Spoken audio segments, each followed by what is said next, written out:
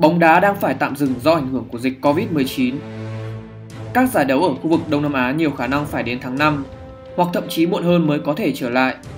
Khi đó, lịch thi đấu vòng loại World Cup 2022 cũng như AFF Cup 2020 vào dịp cuối năm sẽ hết sức dày đặc. Tại bảng G, đội tuyển UAE sẽ thoải mái hơn cả vì không phải lo lắng về lịch thi đấu như các đội bóng ở Đông Nam Á.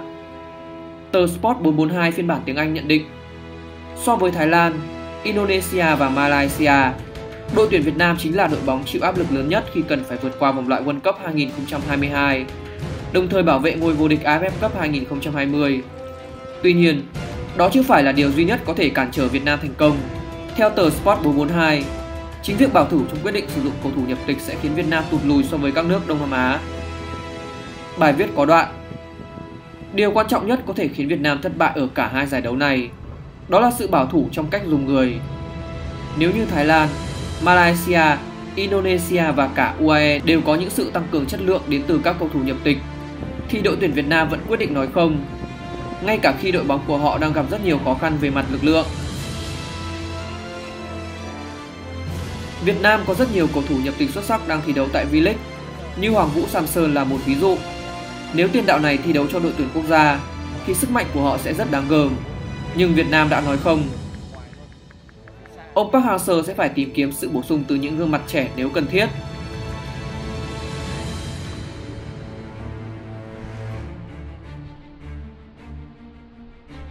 Nhìn sang các nước Đông Nam Á, những cầu thủ nhập tịch đều đóng vai trò không thể thay thế trong đội hình của họ. Đối thủ của Việt Nam sắp tới là Malaysia đang có trong tay 4 ngôi sao nhập tịch, bao gồm tiền đạo Mohamadu Sumare, Matthew David hậu vệ trái Corbin Ong và tiền vệ Brandon Gan.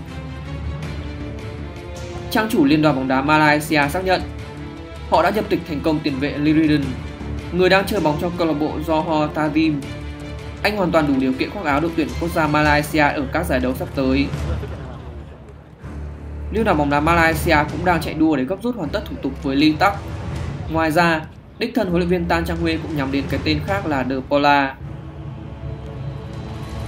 như vậy, đội tuyển Malaysia rất có thể sẽ sử dụng tới 7 cầu thủ nhập tịch trong đội hình chính để đối đầu với đội tuyển Việt Nam.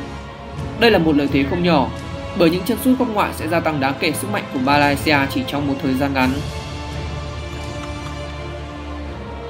Đội tuyển Việt Nam đang dẫn đầu bảng G ở vòng loại World Cup 2022 sau 5 trận đấu. Họ đã giành được 11 điểm với 3 chiến thắng và 2 trận hòa. Dĩ nhiên, đoàn quân của ông Park Hang-seo đang nắm trong tay quyền tự quyết nhưng họ cũng chính là đội bóng gặp khó khăn nhất. Trước mắt Việt Nam sẽ là chuyến làm khách đến sân vận động Bukit Jalil của Malaysia, nơi được coi là dễ đến khó về với mọi đội bóng. Minh chứng rõ ràng, đó là thất bại của Thái Lan tại đây, còn UAE cũng phải toát mồ hôi hột mới có thể giành được chiến thắng tối thiểu